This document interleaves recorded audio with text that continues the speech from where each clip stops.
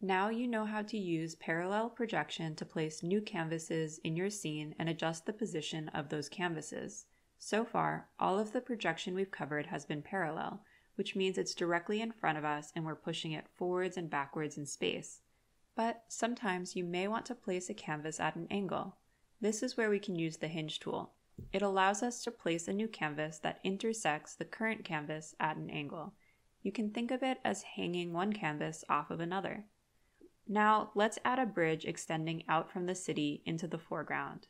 First, we'll start by going to the city canvas in drawing mode because the bridge will be coming out of the city. Tap on the new hinged canvas tool to get started. As you can see, this looks similar to the projection interface with the preview window, but there are a few key differences. The line here represents the axis that we will hinge from. The first step is to position this axis. When you are positioning the axis and hinge, you should think about where the old canvas and the new canvas will intersect, and that is where the axis should be. You can also imagine that the axis is like the fold line in a piece of paper.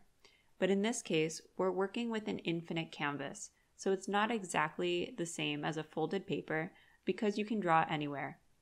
To position the axis, drag the two small outer handles into place you can see the axis moving in the preview window.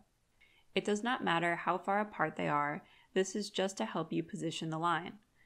I want my bridge to extend out of the city around this building, so that's where the axis will be. Now we're ready to start angling the new canvas from the city. To do this, pull the center bubble away from the axis. As we pull the bubble, we are angling the new canvas. You can see the view here is moving because we're facing the new canvas as it's being angled. You can also watch this from the preview. Watch as I pull the center bubble. The new canvas is rotating around the axis that I set. When you're happy with the angle of the new canvas, tap Confirm.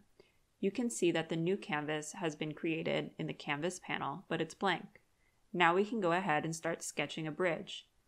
I know the new canvas intersects with the city at this building, so I'll use that as a starting point in my new drawing. Because canvases are infinite, we can draw anywhere on the new canvas. We are not limited to the area near the city. You could draw behind the city or in the sky, but in this case, I just want to add the bridge, so I'll get rid of those lines.